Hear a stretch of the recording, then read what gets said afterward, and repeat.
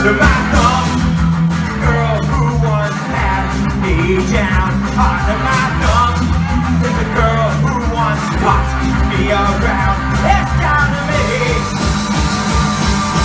When she talks when she's spoken to, down to me. When she gets caught, she's under my thumb. Under my thumb is a squirming dog who's just had her day. Under my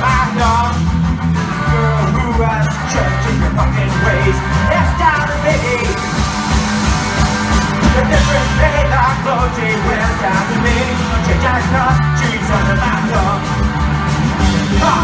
thumb is a cat of a girl.